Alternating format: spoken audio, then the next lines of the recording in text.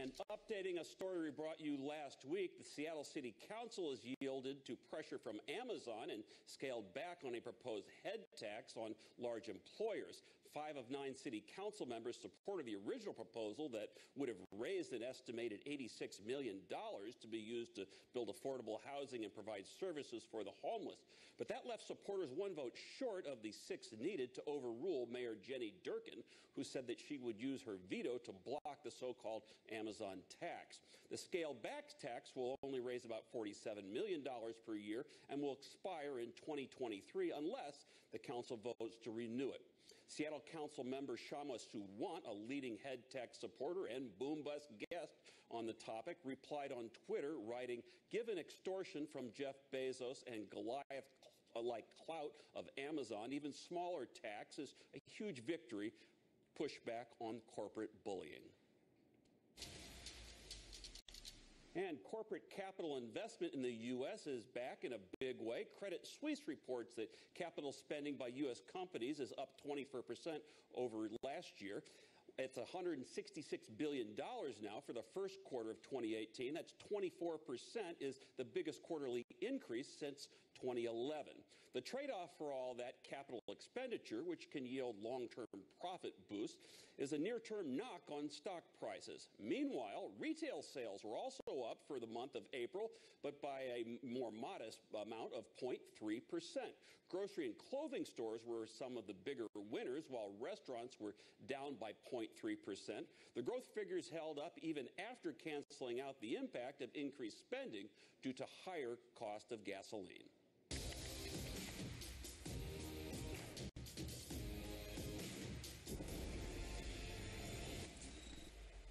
And now we get to have some fun. We turn to talk about some companies and their performance and projections for the future with the effervescent and always informative Melissa Armo, the founder of Stock Swoosh.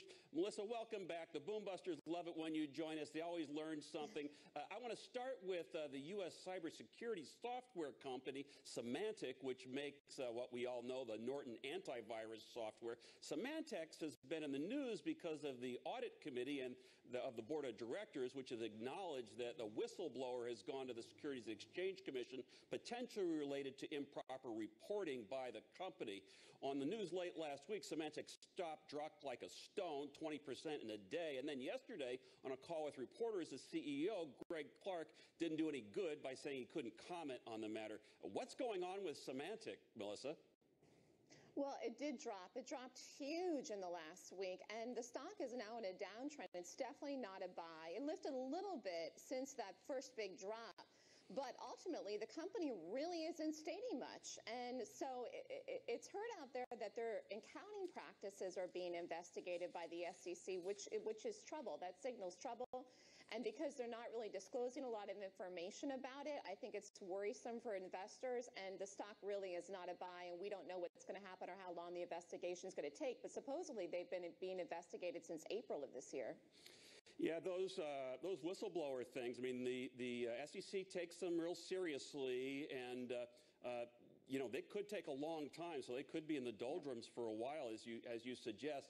Uh, let's move on to another interesting company, Kraft Heinz, uh, the maker of the famous ketchup and, and the Oscar Mayer wieners, the hot dogs, and the Philadelphia cream, cream cheese. In April, banks were saying the stock would be a buy in the mid 70s.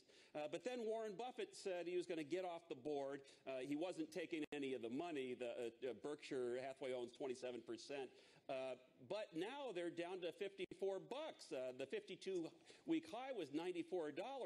Uh, so they really did take a terrible uh, tumble. What's your take on Kraft Heinz, Melissa? That's another one that's in a terrible downtrend. In fact, when you look at the overall market, which is strong and an uptrend, and you look at stocks that are well-known companies like Kraft, you can't help but feel bad. It's it's like GE. I mean, GE is in a terrible downtrend too, and that's a well-known company. No one's really seeming to invest or buy in Kraft. I don't know why, but I know that it's not a buy till probably it gets well over 70, maybe even 75. And that's a long way away from now. We'll see how the next earnings reports. It's not impossible to get there, but it's not anywhere close to being a buy right now. Institutional investors just aren't buying it. I, I wonder, uh, we did a little uh, uh, thing on our show a couple of weeks ago. You know, they, they came out with a few months ago this uh, combination of ketchup and uh, mayonnaise, uh, Mayochup. And I wondered if maybe they had jumped the shark. Uh, that it was just too much, that this was too cutesy. Uh, but you think that they could potentially pull out of all this? I, am very hopeful. I mean, they're not that far away from being a buy. I mean, I think they closed today right around 50, 59 or something like that.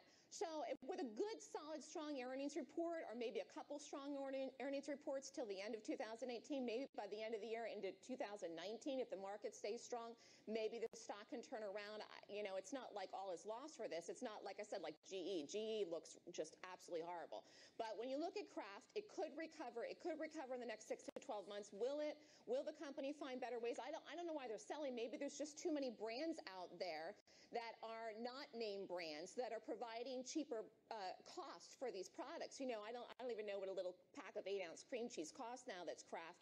I haven't bought cream cheese for a while, but I'll tell you, there, there's an upcharge when you buy brand names in the grocery stores. And so maybe people are just not wanting to pay it. They're tightening up a little bit. It could be. Well, the others don't have Mayochup. Uh, let's go on to uh, Walmart, which was trading about 84 bucks today, uh, down from the 52-week high of 110 in, in January. It was $75 a year ago. Is now a good time to get into Walmart, do you think? I would wait because Walmart earnings are tomorrow morning, and I will say this. I don't know what Walmart does on the earnings. It's tomorrow morning before the bell, but I will say this.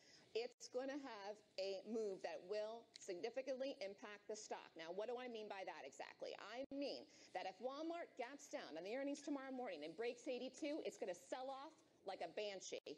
And it is really going to sell off because people have been trying to support the stock at that number uh, for the last week. And the stock has not looked good since the original earnings out at the beginning of 2018. In fact, it has never recovered since the high of that earnings report. It has fallen. It is nowhere near the highs. Now, if it gaps up and there are good expectations for these earnings, again, I have no idea what it does, but a lot of people think it's going to report well. If it gaps up and has a positive reaction on the earnings and gaps up to around 90 bucks, it's going to fly. It's going to be a buy. It's going to move higher. It's going to catch up from all the lagging since the beginning of the year, and it's going to probably move back up into the highs sooner rather than later. So watch Walmart. Walmart is one to watch. So the levels are buy it at 90 or short it under 82 or sell it if you're in it long under 82 because it's really going to tank. Melissa, we never have enough time. You've always given us such great information, and now we have something to look forward to tomorrow with their report. Melissa Armo, the founder of Stock Swoosh, thank you. We really appreciate it. Thanks. Thanks for having me.